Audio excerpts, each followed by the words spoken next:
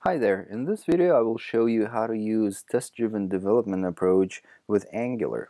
So there are only three steps in TDD.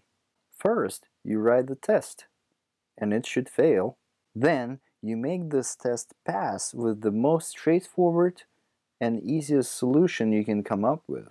The approach that allows you to make that test pass as quickly as possible. And lastly, we refactor your solution into something more robust while keeping the test passing. Now let's get started. At this point I have set up an empty Angular application.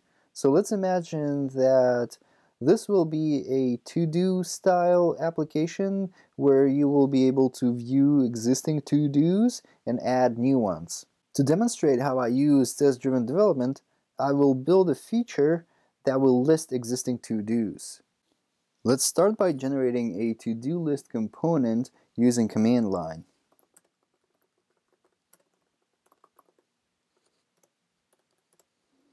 I'll put it in the components folder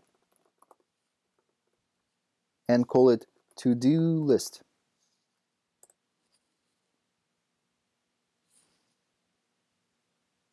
Then I start the test runner that should show all tests passing.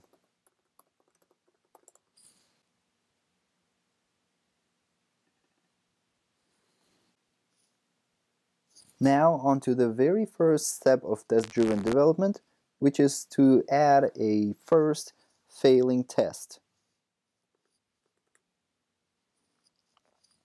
I navigate to the test file of the to-do list component I renamed this default test to describe my first real test, which is to list existing to-dos. Should list to-dos, or rather should show to-dos. Then I modify this existing expect statement to assert that the component shows a number of expected to-dos.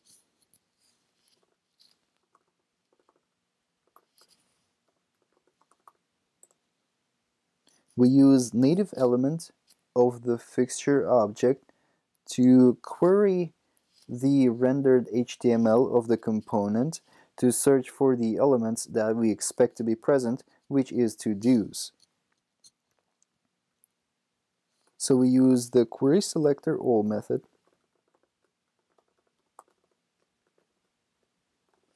and we search by the class name a to-do and then we'll look at the length of the returned array. And we expect the, the length to be let's say three to-dos.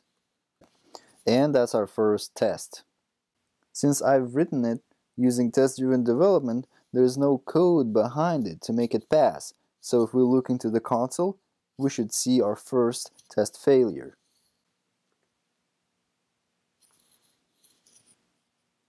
And in fact, it does fail, saying that in our assertion, we expected there to be three to-dos, or rather, three elements with the class to-do, but we got zero. And as I mentioned, there are only three steps in test-driven development, and I've just completed the first one, which is writing the first test. The next step is to make that test pass with the most straightforward, simplest solution. So let's open the template file of the component and see how we can make it pass. So the simplest solution will be to just list all the to-dos here in template directly.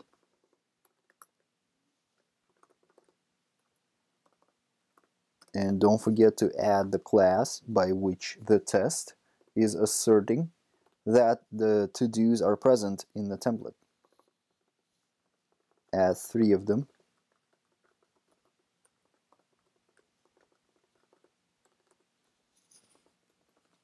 And these are our three to-dos. So let's look at the test. And it is passing.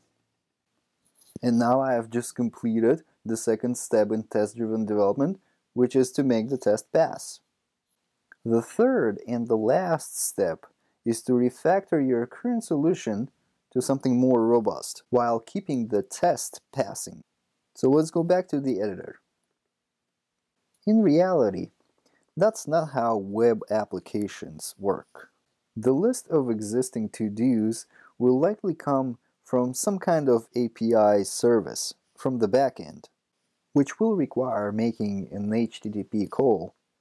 And in Angular, HTTP calls are delegated to services. Therefore, the to-do list component should use some kind of service to fetch these to-dos. So let's add a service using the command line.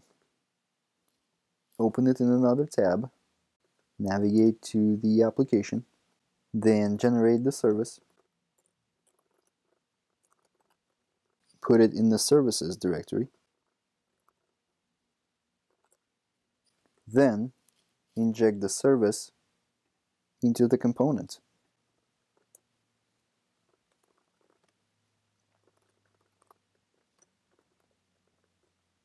Once the component has the service to fetch the to-dos, we can put it in the onInit method where the component would ask the service for the to-dos and save them into a class property. So first of all, let's declare that property here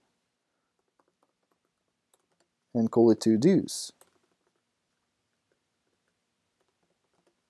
We'll default it to an empty array for now. And then use that property to save the to-dos by calling the service.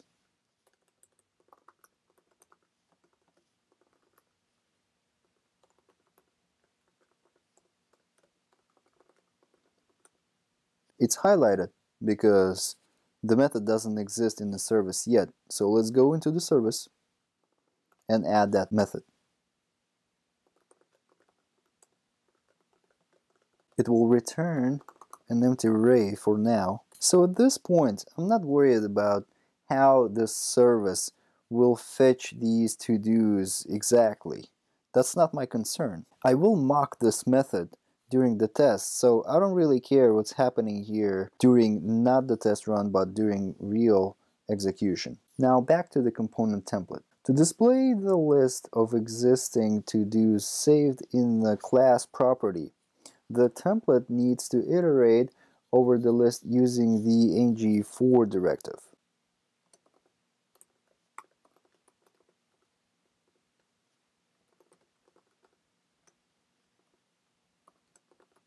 Like so. Make sure that the class property is still present because that's how the test is asserting the presence of the elements in the template.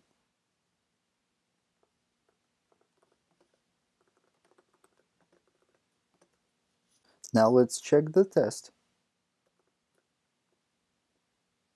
And now we see that it is failing.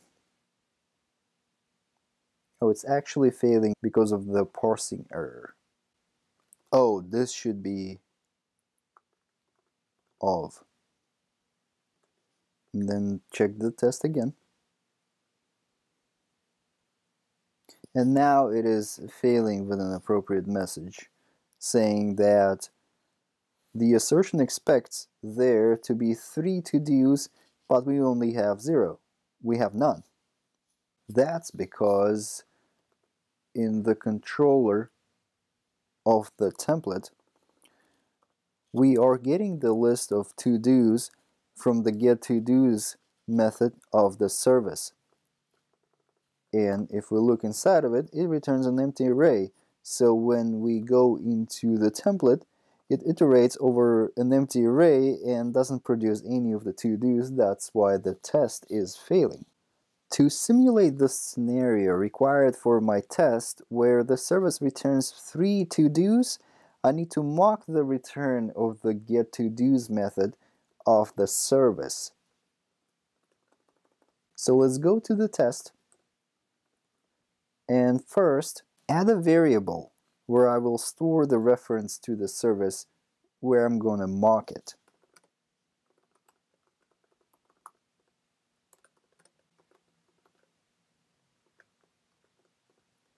Then grab the reference from the test bed.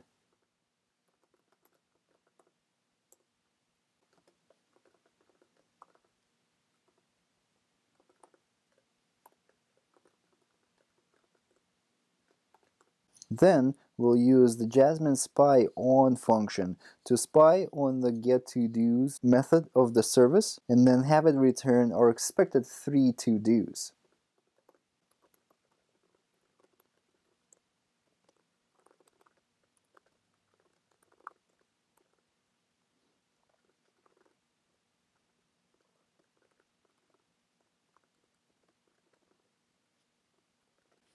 Make sure that the detect changes call happens after we set our spy. Now let's check the test. And it is passing. It is passing because we spied on the getToDos method and told it to return an array of these three to-dos. And during the component execution, that's in fact what happened. The the to-dos got saved into this to-dos property, which was used in a template to iterate over and create the list of to-dos. At this point, I've completed all three steps of test-driven development. I added a failing test, I implemented the simplest solution, and then I refactored it. As you might have guessed, this is just the beginning. I still need to implement the HTTP calling logic in the service method before I can test that the whole thing works correctly. To do that, I would start a new cycle of test-driven development. I would go into the test of the service and uh, create a new test where I would assert that when I call the getToDos method, it properly uses the HTTP service to call a certain URL and then returns the data in the expected format.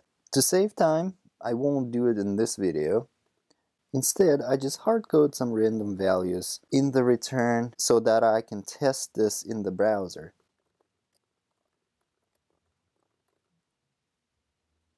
And when I open the browser, I see that it works. Notice how this is the first time I opened the browser so far.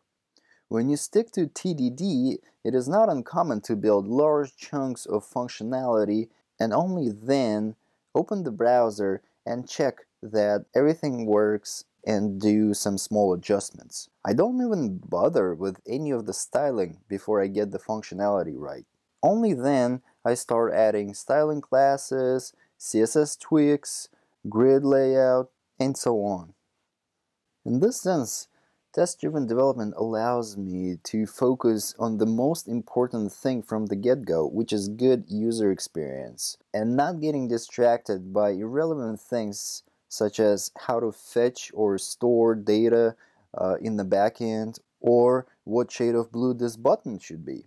Another benefit of TDD is that there are only three steps, so when I return to my coding, I always know where I left and what to do next. Next benefit is that TDD makes it easier to create a better architecture because it constrains me to write only the code that's absolutely necessary to pass the tests and no more. It also helps me to see where to start breaking things down into more components or services or where to use state management. Next, when you write the tests in the way that describes the desired behavior of the component, it creates a living executable documentation for your code. So instead of figuring out the inner workings of a component or a service, you can just glance at the tests and get a quick idea of what it does and how it works. Next, when you have tests that assert against the expected behavior of components, it is so much easier to refactor them. For example, as long as my test for listing to-dos is passing, I can completely refactor the way those to-dos are fetched, prepared, or filtered for the display, and still feel confident that everything works correctly. Lastly, writing tests first makes better tests in general. If tests are written after the code, it is too easy to miss some important functionality. Additionally, the tests that are written after the code often assert against the implementation, not against the expected behavior. So these tests are harder to understand. Also, they break as soon as you change some implementation detail in your code, even when it's not related to the expected behavior. And because of these reasons, I prefer to use test-driven development for all my coding. Thank you for watching this and I'll see you next time.